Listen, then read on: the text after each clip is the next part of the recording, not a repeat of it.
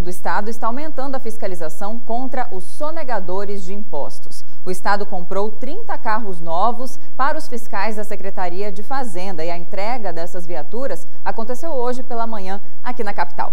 Os detalhes vamos acompanhar agora na reportagem de Antônio Carlos Silva. Em Cuiabá, na Praça das Bandeiras, o governador Mauro Mendes entregou a chave dos 30 veículos Fiat Toro comprados pelo Estado por R$ 3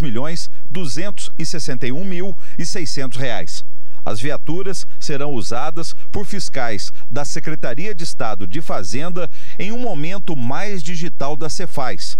É para combater pontualmente a sonegação fiscal e Mato Grosso continuar sendo o estado que mais arrecada impostos no Brasil. Nós tivemos uma queda de arrecadação em comparação ao mesmo que nós arrecadamos no ano passado, nós estamos abaixo em torno de 2% do que nós arrecadamos do mesmo período do ano passado. O mês de fevereiro e março foi o mês que nós tivemos de fato maior dificuldade, pois uma, uma relativa uh, recuperação, mas ainda estamos abaixo uh, do, da, da arrecadação nos seis primeiros meses do mesmo período do ano passado.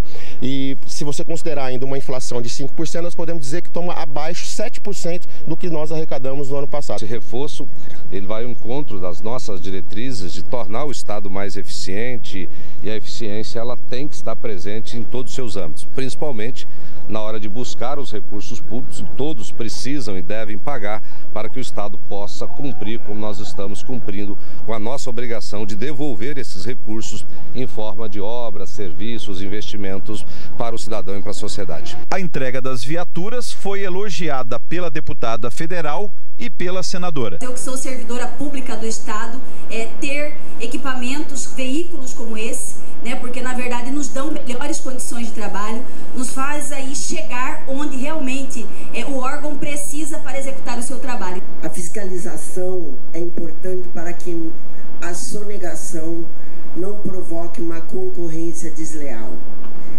E isso é o que nós buscamos. Quem trabalha dentro da lei quer que a fiscalização fiscalize, seja eficiente. O governador e o secretário de Fazenda fizeram críticas em relação à reforma tributária que está tramitando no Senado Federal em Brasília. Ela já foi aprovada na Câmara dos Deputados. São duas dimensões de preocupação. Uma é em relação à arrecadação.